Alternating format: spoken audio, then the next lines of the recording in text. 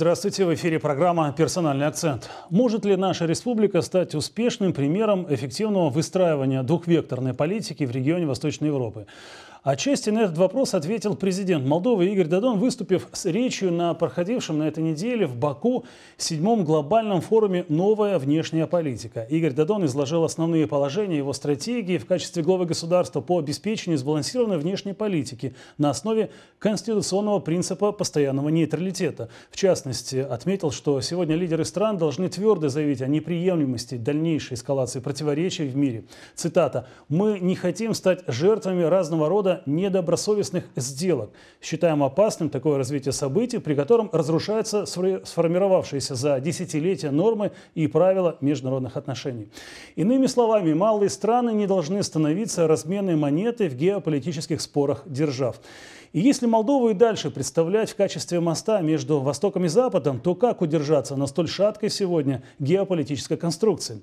Об этом и не только поговорим с нашим гостем, политическим обозревателем Игорем Волницким. Здравствуйте. Здравствуйте. Ну, сегодняшняя геополитика характеризуется многими факторами. Ну, в основном э, ваши коллеги, которые занимаются аналитикой, Э, утверждают, что сегодня геополитика характеризуется неким таким хаотичным движением э, политических элит тех или иных стран. И э, как раз вот хотелось по этому направлению повести наш разговор. Но раз вот в начале нашей беседы я затронул тему выступления главы государства Игоря Дадона на седьмом форуме глобальной политики, который проходил в Баку, то вот ваша оценка, во-первых, встреч, проходивших проведенных э, президентом страны на площадках этого форума. Ваша оценка его выступления и, на ваш взгляд, э, какие вопросы все-таки удалось поднять, может быть, вскользь, а может быть и целенаправленно, удалось поднять на, вот так, на этой, в общем-то, довольно значительной площадке, где обсуждались вопросы, пусть очень такого широкого формата, который мы называем глобальная политика, но тем не менее, как мы это уже поняли на собственном примере, в любое любая турбулентность, которая совершается на уровне глобальных политик, тем так или иначе затрагивает внутренний мир малых стран. Знаете, я следил за тем, что происходило в Баку, и в особенности то, что касалось Республики Молдова, и то, что делал президент Дадон в Баку. И если охарактеризовать одним словом то, что сделал президент, то это, скорее всего, самое подходящее слово – это последовательность. И когда я говорю о последовательности, я имею в виду тот принцип сбалансированной внешней политики, который президент продвигает, ну, по меньшей мере, последний год. Во всяком случае, последний год очень активно продвигает этот принцип. И я понимаю, может, моя точка зрения субъективна, но я понимаю, почему президент э, так делает. Потому что он пытается как бы компенсировать э, э, те э, нехорошие акценты, которые поставили во внешней политике нынешняя правящая партия, нынешняя власть. Ведь Молдове еще никогда, Молдова еще никогда не была в таком отношении в плане внешней политики, что она имеет одновременно плохие отношения с Евросоюзом, и они ухудшились особенно во вторую половину 2018 года и сохраняется, к сожалению, до сих пор. Да, президент компенсировал э, э, своим поведением, своим диалогом, который он имеет постоянно с, и с Владимиром Путиным, президентом э, России, и с другими официальными лицами в Москве. Но все-таки остается этот оттенок, что Молдова на данном этапе имеет плохие отношения и с Россией, и с Евросоюзом. И президент пытается, пытается, насколько мне видно со стороны, сместить акценты и улучшить положение.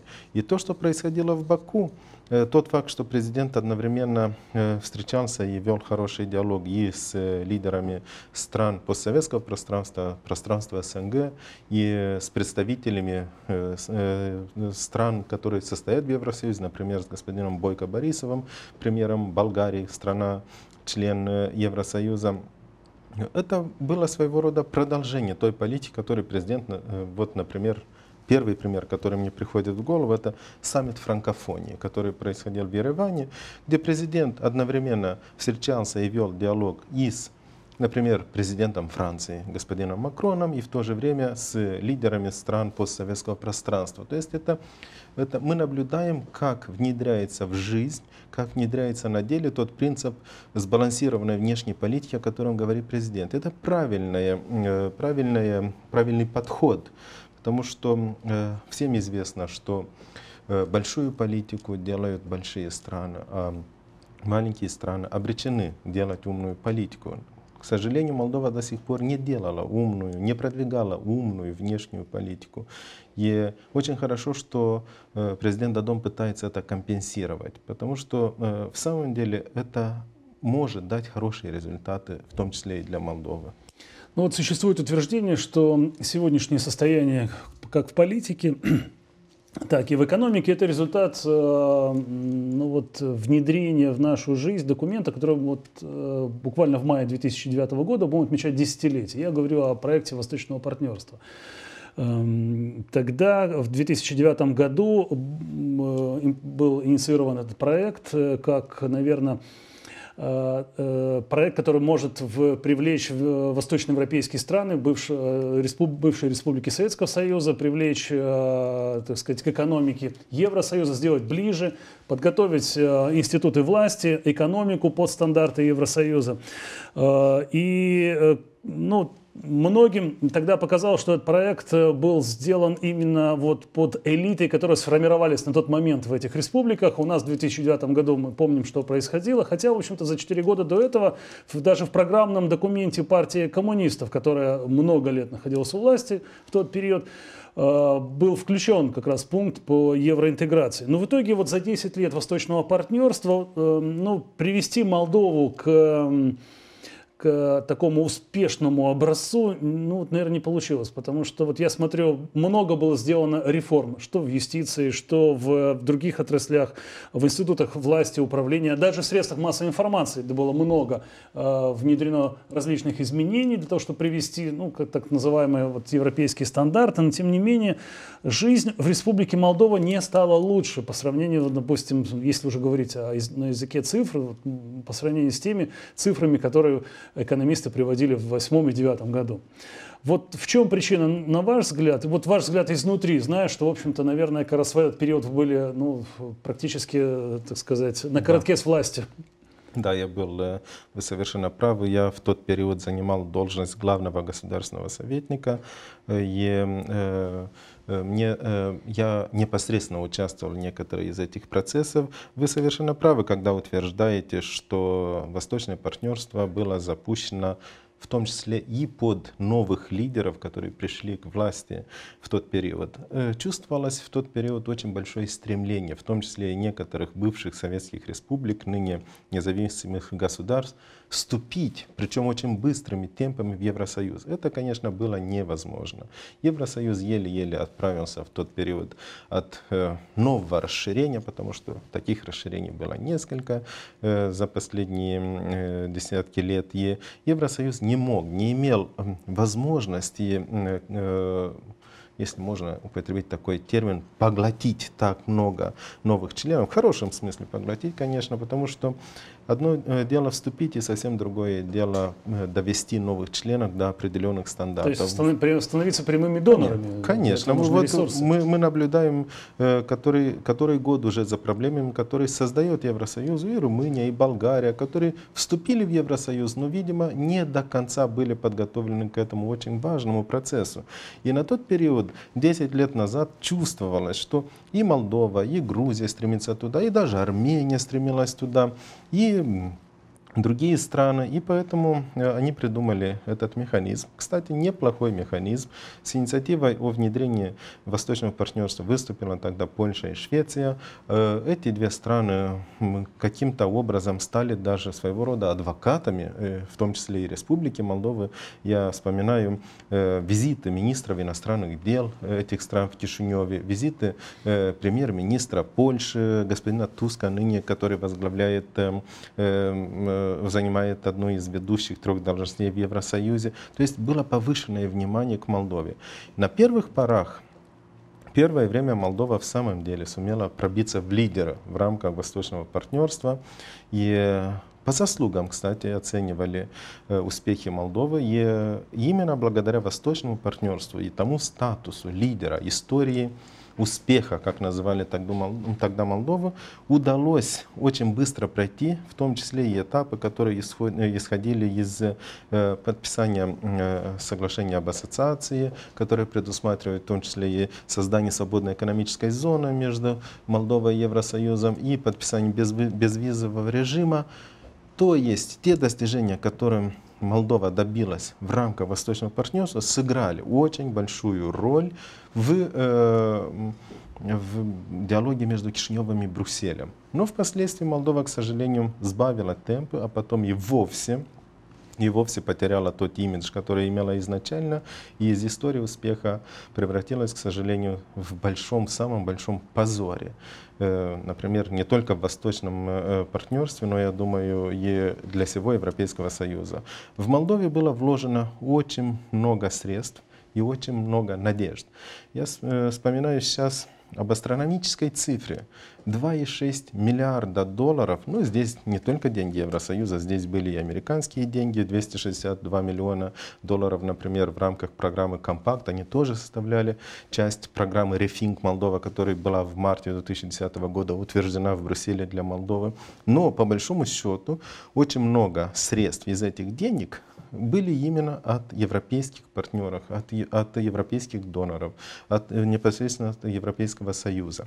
Да, были деньги, я повторюсь, и от американцев, и от МВФ почти 600 миллионов там были, но по большому счету это были деньги от Евросоюза. Потом, э, к сожалению, часть этих средств удалось внедрить и достаточно эффективно в, в жизни молдавских граждан. Вот, например, дорога Саратень-Сорока, 93 километра, это самая лучшая дорога в Молдове. Или ирригационные системы. Это все часть программы «Компакт», но все, все в то же время и часть программы «Рефинг Молдова». А потом все это ушло куда-то куда на второй план. И с момента, когда Молдова уже приобрела статус ассоциированного члена, подписав соглашение об ассоциации, с момента, когда мы получили безвизовый режим, э, те, которые руководили страной и называли себя европейскими, проевропейскими политиками, демократами показали свое второе лицо, которое, к сожалению, намного отличалось от первого лица, которое было до 2013 года. Или даже, да, до 2013, где-то так. И тогда на передний план вышло, вышли те неполадки, я скажу просто неполадки, связанные с банковской системой, с рейдерскими атаками. Вышло на первый план состояние в юстиции очень плачевное, несмотря на то, что были вложены немалые суммы, в том числе от европейских партнеров. Вышло на передний план печальный факт, что институты власти являются захваченными в Молдове, что те основные институты власти, которые должны служить интересам граждан, к сожалению, служат интересам политикам, э, и они вовлечены напрямую в политических разборках и так далее и тому подобное. Вот и тогда Молдова потеряла не только статус истории успеха в рамках восточного партнерства, но стала самым большим позором, наверное, за, весь, за всю историю вложений в ближайших соседей со стороны Евросоюза. Ну, не, не, долж, не может быть, чтобы, например, вот такой взгляд никак-то не сказался на взаимоотношениях Европейского Союза и молдавских властей. Наверняка изменился, эм, будем говорить, диалог и изменились взаимоотношения. Я так понимаю, что и с финансированием у нас проблемы. Теперь из-за того, что там же в Брюсселе стали понимать о том, что они практически помогли в, либо, во всяком случае, присутствовали, либо при их молчаливом согласии, или, может быть, их пропустительстве. Здесь можно употребить самые разные эпитеты или определения, но, тем не менее, они стали свидетелями тому, что, как вы сказали, э, Молдова захваченное государство. Это такая уже, знаете, устойчивая формулировка сегодня в, в политологическом сообществе. И вот на ваш взгляд, э, получается, Европейский Союз стоит перед тем, чтобы пересмотреть какие-то свои, э, будем говорить, взаимоотношения или установки по, в адрес Молдовы. Или же, в общем-то, наверное, продолжит дальнейшее общение с молдавскими властями, но если продолжит, то как? Знаете, я часто сравниваю Евросоюз, я надеюсь, никого не обижаю этим своим сравнением, с инвестором. Евросоюз это инвестор. Они инвестировали немалые средства в Молдове. Они не могут просто в определенный момент взять и сказать, вы извините, нас там кинули местные партнеры, и мы оставляем нашу инвестицию на их усмотрение. Они не могут, это, э, не могут так поступить, и, исходя из других соображений. За этими инвестициями кто-то в Брюсселе и в Страсбурге ведет эм, э, прямое, э, я не знаю, они, они как бы даже не знаю, какой термин употребить. Учет? Чтобы, э, не то, что учет, они являются кураторами этого досье. Республика Молдова для них досье, для некоторых европейских чиновников. Они ответственны за те вложения, которые были сделаны в Молдове. От этого, хотя это они говорят, но мы должны прекрасно это понимать, от этого зависит их карьеры. Карьеры как европейских политиков. И от того, что они потерпели фиаско в Молдове, это может погубить и карьеры некоторых европейских политиков, потому что они следили за происходящим здесь, они приходили с рекомендациями к органам Евросоюза, э, Союза кому... Э, и озвучивали э, свои доклады уже на европейских конечно, площадках. Конечно, и получается, что они либо сами должны признавать, что были введены в заблуждение молдавскими партнерами, либо они понимали, что здесь происходит, но из каких-то своих соображений сами вводили, вводили в заблуждение своих начальников или э, структуры Евросоюза, перед которыми они отчитывались. То есть это, это, если можно выразиться опять же термином, которым заимствуем из бизнеса, Э, эти кураторы, они администраторы инвестиций Евросоюза в Молдове. И никакой администратор не может сказать, шеф, извините, я профу профукал все ваши деньги там в эту инвестицию, все, я чист, давайте все забудем с чистого лица, листа. Нет, никогда этого не будет. Поэтому интерес Евросоюза к Молдове будет и в дальнейшем. Он есть, он заморожен, если позволите. Э, употребить такой термин, он заморожен на данном этапе. А почему он заморожен? Потому что э, они ждут э, позвольте опять же выразиться на языке бизнесменов, они ждут, когда здесь поменяется структура а, акционариата, когда придут новые акционеры или хотя бы что-то изменится в этой структуре. И тогда они, конечно, попробуют реанимировать, реанимировать свои инвестиции или хотя бы провести эм, объективный анализ, на каком этапе находятся их инвестиции, сколько из них потеряно навсегда и какие можно еще реанимировать. Я подозреваю, что э, Евросоюз, независимо от того, кто придет э, в Молдове к власти, это будь то э, партии, которые объявляют себя проевропейскими, будь то центристские партии, будь то партии на платформе про Молдова, они будут реанимировать свои отношения к Молдове. Но, скорее всего, они более осторожно подойдут уже к э, Молдове, потому что они здесь обожглись. Они поняли, что э, ну, не все те партнеры, которые кажутся искренними, они на самом деле таковыми являются. То есть доверие партнеров можно вернуть только лишь ответственным отношением к делу. Получается так. А ведь просто опять лозунгами, например, мы за европейскую интеграцию или мы за, так сказать, дружбу с Европейским Союзом, сегодня этим уже не копишь, получается, европейских партнеров. Так и есть. И меня очень удивило одно сравнение или одно высказывание, если можно так сказать, одного уважаемого мной э, человека, который сказал, знаете, э, для Евросоюза было лучше, когда в Молдове были у власти коммунистов. Ну, он так сказал неофициально, и я думаю, что э, он даже не до конца осознал всю тяжесть своих слов, потому что он потом как бы заикнулся, но я все-таки настоял и спросил, а почему вы так говорите? Он говорит, ну хотя бы те были предсказуемы. Мы знали, что они коммунисты, они заявили об европейской интеграции, но они будут продвигать ее очень осторожно, степенно. Но с другой стороны, пришли, ну, на место коммунистов пришли проевропейские политики, которые заявили, да, мы будем вести в Молдов в Евросоюз, нам показалось, что эти более искренние, более энергичные, более, э, более решимы э, сделать то, что они заявили, а потом оказалось все наоборот. То есть э, с коммунистами э, им было легче работать, потому что они знали рамки, до которых коммунисты могут действовать. И они ставили э, условия такое, вот обязанности, выполняете, тогда мы выполняем свои обязанности. Ну, это такой, знаете, наивный романтизм европейских политиков сегодня обернулся и против них. Смотрите, как растет в странах Евросоюза евроскептицизм, потому что понимание того, что расширение Европейского Союза ведет к снижению экономических показателей, к снижению уровня жизни в самих странах Евросоюза, при том даже Э, ну, вот, очень высоком уровне и экономики Европы, которая способна переживать самые разные потрясения сегодня. Это признают, что в общем-то, экономика Евросоюза одна из в общем-то, сильных в мире и позволяет э, справляться с э, самыми разными э, так сказать, ударами. Тем не менее, вот, мне кажется, вот этот романтизм сыграл злую шутку как раз с европейскими политиками. Доверчивость довела их к разочарованию. Но дело в том, что мы, граждане Молдовы, из-за вот этой доверчивости тоже стали заложниками, а скорее всего даже, наверное, жертвами э, тех эм, прохиндеев от политики, которые довели страну к чему? Да, поглотив огромные средства от Евросоюза, от э, Соединенных Штатов Америки, в общем-то, построив одну-две дороги и каких-то там один проект показывает, что, ну, в общем, нельзя называть историей успеха. Эм, ну, смотрите, хотелось бы еще поговорить о том, э, в какой турбулентности геополитической находится сегодня Республика Молдова. Вот если мы затронули тему Европейского Союза, то сегодня он переживает непростой процесс вот этого затянувшегося развода с Великобританией, Брексит.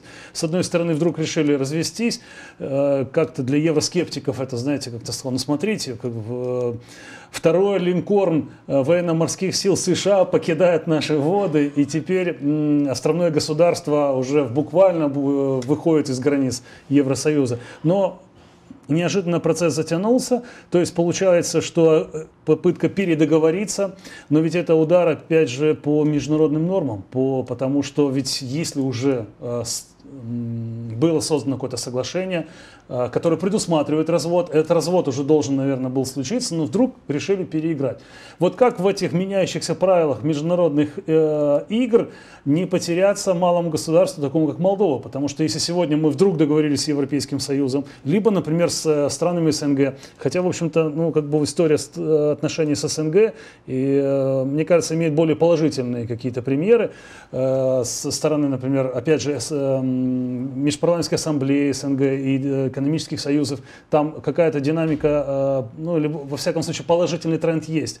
Э, там, в общем-то, снижение, то есть у нас потери отношений с рынками восточных, восточных соседей произошли после 2014 года, когда мы так, в общем-то, мне кажется, бездумно сразу стали подписывать 80-страничный документ, не прочитав, чем он грозит молдавской экономике. Ну и, в общем-то, грозит взаимоотношения, опять же, с СНГ. Тем не менее, вот как здесь, вот опять же не споткнуться на такой банановой корке, потому что очень обидно, например, тем же предпринимателям сегодня косить персиковые сады, срубать яблоневые сады, терять плантации, э, то есть практически закапывать землю труд, плод своего труда. Ведь когда-то это все было обещано, что мы сможем экспортировать. В итоге все теряем. Знаете, э, сначала хотелось бы чуть-чуть о Брексите. Mm как не видится то, что происходит в Великобритании э, после Брексита? Это прямое последствие популизма политиков. Те политики, которые говорили в Великобритании, что нам лучше выйти из Евросоюза, они всегда говорили гражданам только, сколько сэкономит Великобритания на взносах, на разные, на э, разные типы платежей, которые они делали в рамках Евросоюза, имея определенные обязанности. И они всегда говорили, вот столько-то миллионов, десятки миллионов, сотни миллионов мы сэкономим. Эти деньги, этих денег хватит, чтобы делать то, то, то, вот для тебя, потому что ты социально уязвимый, представитель социально уязвимых слоев населения. Вот для тебя, вот для тебя. И люди на это повелись. Вот куда приводит ну, скажем так, э, не, э, слова, популизм политиков, слова, которые просто выбрасывают на ветер э, в надежде на то, что сиюминутная выгода сейчас же проявится. Вот это они сделали. Конечно, они создали определенное состояние, определенное состояние в обществе, и когда сам Брексит этот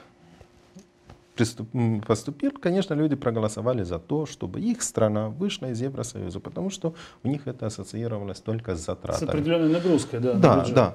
Потом, когда они увидели, что э, большинство мировых компаний, международных компаний, которые имели там свои головные офисы, отзывают свои офисы, закрываются рабочие места, что люди уходят с рынка, что, эм, что воздвигаются новые барьеры на пути торговли, что надо будет платить за то, чтобы продавать в Евросоюз то и то и другое. Смотрите, Ирландия одна из первых Конечно, когда они увидели, когда они увидели, что Брексит, оказывается, несет в себе определенные проблемы с той же Ирландией, потому что там нужно, э, ирландцы вовсе не хотели выходить из Евросоюза, что там, скорее всего, понадобится э, определенный э, барьер восстановить между, э, э, на, на территории острова и так далее и тому подобное, они увидели, что есть очень много проблем.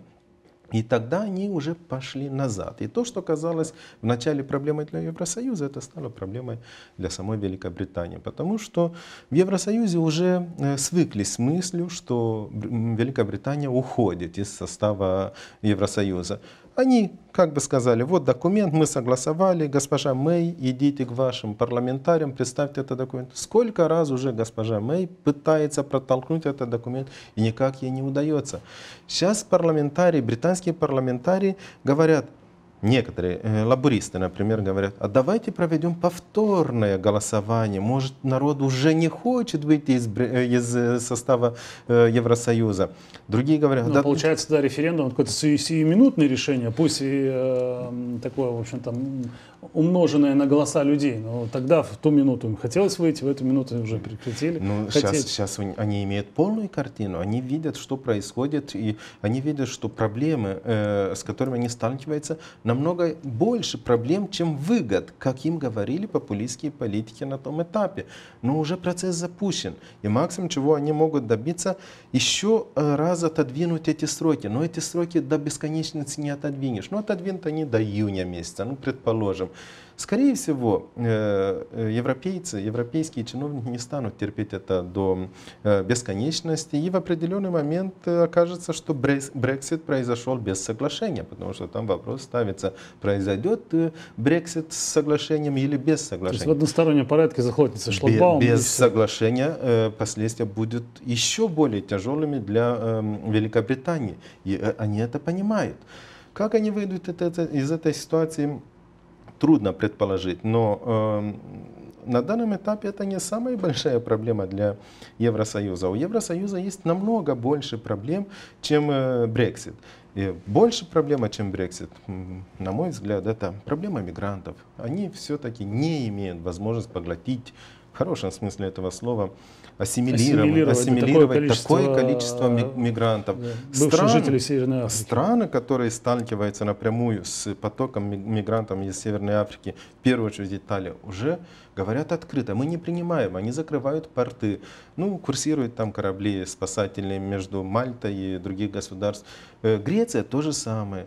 Потом, это не самая большая проблема, даже мигранты не самая большая проблема, и даже не Брексит, самая большая проблема – что Евросоюз теряет впервые за многие годы свою локомотиву, которая тащила весь этот состав вперед. До сих пор локомотивом Евросоюза была Германия. Сейчас позиции госпожи Меркель, которая была неформальным де-факто лидером Евросоюза, конечно, нету такой должности лидера Евросоюза, но она была неформальным лидером Евросоюза, ее позиции сильно пошатнулись. Ей еле-еле удалось добиться нового мандата канцлера в Германии, э, э, э, идя по пути ну, практически фантастического альянса, который никто не мог э, предположить, э, что реально он может состояться такой альянс. Ну вот он состоялся, но у госпожи Меркель, ну скажем так, небольшое поле для действия. Она для нее сейчас приоритетом становится Германия не Евросоюз. Господин Макрон попытался занять роль локомотива, которой госпожа э, Меркель вроде бы теряет эту роль, ну и он только... Появились выс... желтые жилеты. Конечно, он только выступил на передний план э, европейских событий, как у него э, дома начались очень большие проблемы. Он отказался от этого.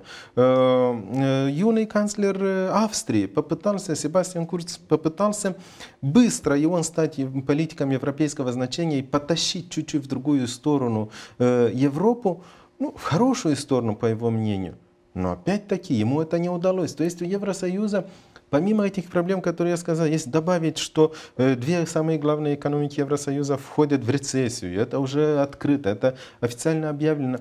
Ясно, что Евросоюзу сейчас не до расширения. Им бы решить проблемы, с которыми они сталкиваются. Поэтому и отношение, я перехожу уже непосредственно к второй части вашего вопроса, и отношение к таким странам, как Молдова, очень и очень осторожное. И создалась уникальная ситуация за годы независимости страны, когда вроде бы все мировые силы, и Россия, и Евросоюз, и США, вроде бы им нужно от Молдовы только одно. Давайте у вас будет стабильность, потому что по пруту протекает и граница эм, Евросоюза, и граница НАТО.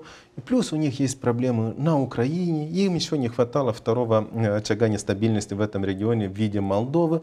То есть есть уникальная ситуация, когда от Молдовы требуется только одно. Будьте стабильны, обеспечьте стабильность и не создавайте нам дополнительные проблемы. Не рвитесь в Евросоюз. Ну, вы сами понимаете, господин Юнкер, Жан-Клод Юнкер, председатель Еврокомиссии, в самом начале своего мандата он так и сказал, не питайте иллюзий, Евросоюз не будет расширяться. Ну, может, я неправильно его цитирую, но смысл его слов такой, такой был. То есть этот человек очень прагматичен. Он представитель карликового государства, он бывший премьер-министр Люксембурга. Он понимает, как никто другой, стремление больших стран войти под большой зонтик безопасности, благополучия и так далее и тому подобное. Но если он это сказал, в том числе обращаясь к маленьким странам, которые толпились в то время у ворот Евросоюза, значит никаких расширений не следует ожидать. Пока Евросоюз не решит свои проблемы с локомотивом, с Брекситом, с мигрантами, с рецессиями главных экономик, ни о каких расширениях не может быть и речи. Это понимают и американцы, это понимают и россияне. Поэтому от такой страны, как Молдова, которая сейчас прошла через парламентские выборы, требуется только одно – стабильность. И это всех удовлетворит. Получается, в общем-то, вот такая ситуация, э, быть таким геополитическим мостом, раз, шанс, но а, возможен при международном признании конституционного нейтралитета, данном случае тогда, получается, эта модель выстраивается. И уже под нее можно подогнать э, экономическую модель развития, взаимоотношения как с европейскими рынками, так и с э, традиционными восточными рынками. Молдова уже в экономическом, план, в экономическом плане уже становится э, таким мостом. И когда Молдова приобрела, приобрела статус ассоциированного члена Евросоюза, когда Молдова э, получила безвизовый режим, когда Молдова получила доступ в рамках э, соглашения соглашение о свободной торговле к рынку Евросоюза, конечно, это ограниченный доступ, но все-таки он есть, этот доступ. К Молдове в свой взор начали обращать восточные инвесторы. Они уже начали рассматривать Молдову как мост, как возможный мост, как путь э, проникновения на европейский рынок. Но почему это не произошло до сих пор на самом деле? Из-за той же коррумпированной судебной власти никакой инвестор не может иметь гарантии, что у него здесь все хорошо будет со своими инвестициями, со своими инвестиционными планами. Из-за той же нестабильности, из-за той же непредсказуемости власти. То есть теоретически мы уже готовы стать таким мостом. Вопрос в практической плоскости. Готовы ли мы дать определенные гарантии тем инвесторам, которые хотят воспользоваться этим мостом? И это, по-моему, один из вопросов, на который должна дать ответ будущая власть, независимо от ее окраски. То есть то, что должно сформироваться сейчас на парламентской площадке Конечно. в результате, в общем-то, прошедших парламентских выборов. Да, так и есть. февраля. А, ну, интересное замечание, потому что, смотрите, сегодня многие наши сами сограждане, внимание многих сограждан, конечно, привлеч, э, э, так сказать, обращено к, к тому, что будет сформировано в парламенте, удастся ли э, партиям договориться о дальнейшем политическом пути Республики Молдовы, в какой форме развиваться это будет. И интрига, мне кажется, сегодня, откры, так сказать, открыта, никто не знает, никто не готов сегодня делать каких-то открытых прогнозов в этом отношении. И это понятно, потому что как результаты выборы, они, в общем-то, оставляют такое поле знаете, деятельности и заявления политических актеров тоже говорит само за себя. Тем не менее, мне кажется, граждане сегодня вот этот запрос на стабильность, он продиктован не только извне Республики Молдова, но еще и из, изнутри. Потому что сегодня э, жить в нестабильной стране, это значит э, стремиться ее покинуть. И, в общем-то, это как раз и говорит статистика, где-то порядка свыше 100 э, человек 106. ежесуточно, 106 человек ежедневно покидают Республику Молдова навсегда. навсегда. То навсегда. есть уезжают, вывозят свои семьи, своих детей, своих родителей. И вот э, потеря самого главного, именно вот э, человеческого ресурса, грозит стране вымиранием. В данном случае вот такой аванс, который дается мировым сообществом, создайте остров стабильности, и вы выживете, он может быть не реализован. Так получается? Есть. И самая главная проблема, вы правильно подметили, это исход граждан, уход граждан из страны. Это массовый уход, и, к сожалению, он не прекращается, наоборот, он э, уже становится более масштабным, и это связано в том числе и с тем, что люди потеряли веру в завтрашнем дне. Я являюсь и руководителем одной компании, и моими клиентами являются несколько компаний, которые обращаются к нам, иностранных инвесторов, очень важный аспект, которые обращаются к нам, помогите нам сделать, э, чтобы наша, э, э, наша оферта о, о тех местах, рабочих местах, которые у нас есть, дошло до граждан. Мы сталкиваемся с ситуацией, если мы до сих пор говорили, что надо создавать рабочие места, Сейчас уже сталкиваемся с ситуацией, когда в Волнове есть хорошо, хорошо оплачиваемые рабочие места. Э, речь идет о зарплатах между 6 и 8 тысячами лей. Я это говорю и с тем, что я сталкиваюсь каждый день, работая с моими клиентами. Есть проблема. Неоткуда взять рабочую силу. И я очень боюсь, что в определенный момент эти инвесторы, а это иностранные, крупные инвесторы, имена громкие на, на весь мир, они скажут, ну, до сих пор в Молдове нас привлекала доступная рабочая сила. И квалифицированная, и достаточно, ну, не побоюсь этого слова, дешевая, потому что это идет в сравнении с э, ситуацией других стран. И полилингвизм, мы да, говорим на да, нескольких языках одновременно. Да, и толерантность, потому что это тоже играет огромную роль, потому что э, любой инвестор учитывает массу факторов, и вот все эти факторы делали Молдову для них привлекательной. Некоторые инвесторы пришли, Некоторые собирались приходить, но для того, чтобы пришли и новые, для того, чтобы решить все эти проблемы, которые, эм, которые должны в конечном итоге э, заставить Молдову сделать шаг вперед, раз, э, вперед, развиваться, мы должны решить самую главную проблему — остановить уход граждан за рубежом.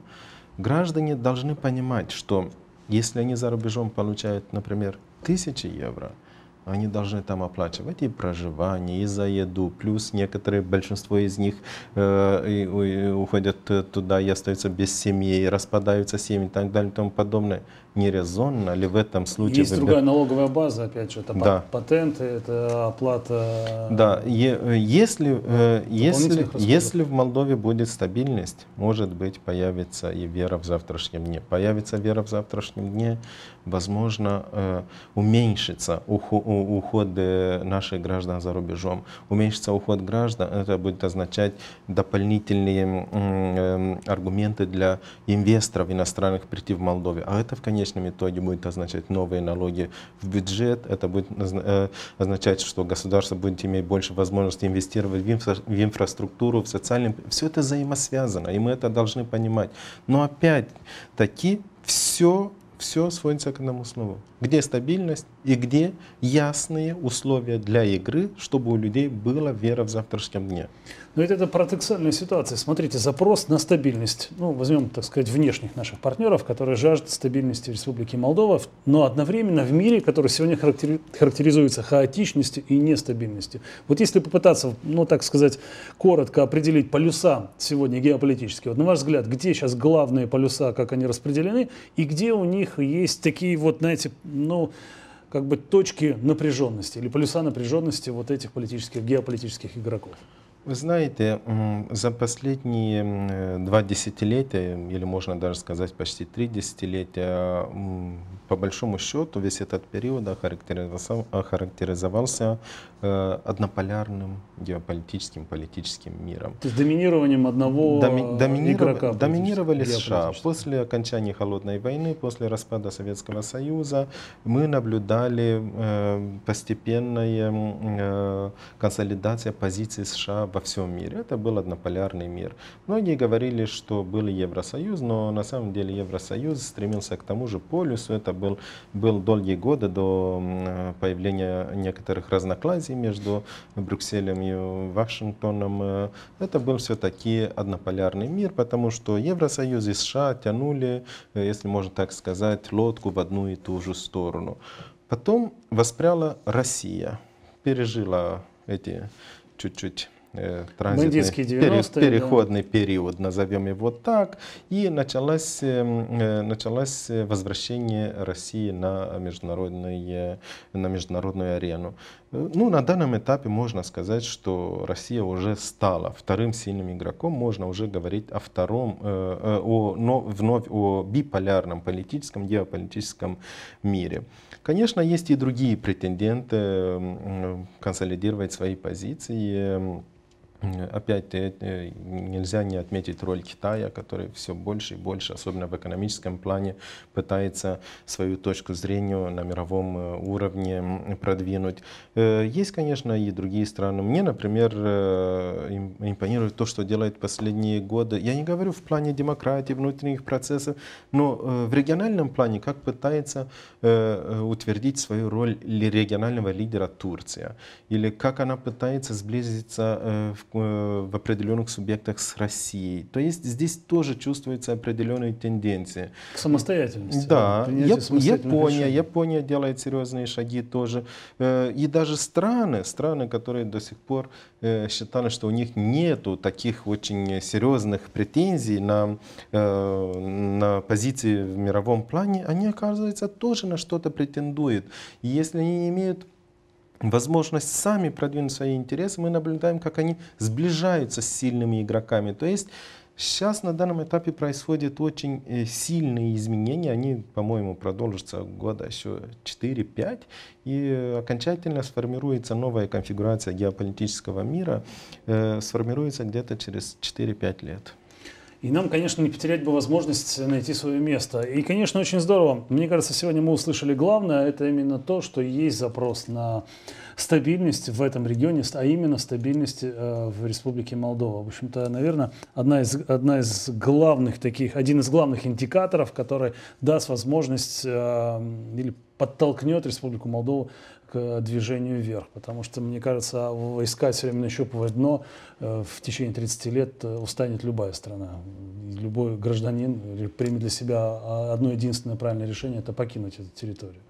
Ну, самое главное, чтобы э, транзитный период, переходный период не стал постоянным. Это самое страшное, что может быть, потому что э, уже несколько поколений э, растут в Молдове, развиваются, если можно употребить это слово, в, условиях переходящего периода. А когда он закончится, есть, этот переходящий период? Вот уже скоро 30 они лет. другой жизни не знают, получается. Да, да, так и есть. Игорь, спасибо вам за этот разговор. Мы только лишь, в общем-то, приоткрыли занавес вот этих э, глобальных геополитических процессов. Но все-таки, я еще раз повторюсь, главное, а именно запрос на стабильность в Республике Молдова, это то, что, в общем-то, должно сегодня звучать, и то, что должно понимать политикам, прежде всего, которые ответственны за свою страну. Будем с удовольствием продолжать наши встречи для того, чтобы как бы раскрывать, может быть, вот эти нюансы, тонкие нюансы геополитических событий, для того, чтобы было понятнее, что происходит в Республике Молдова. Всегда ждем вас в гости. С удовольствием приду. Да. Спасибо. Вы смотрели программу «Персональный акцент». У нас в гостях был политический обозреватель Игорь Волницкий. Оставайтесь с нами, будет интересно, мы работаем для вас.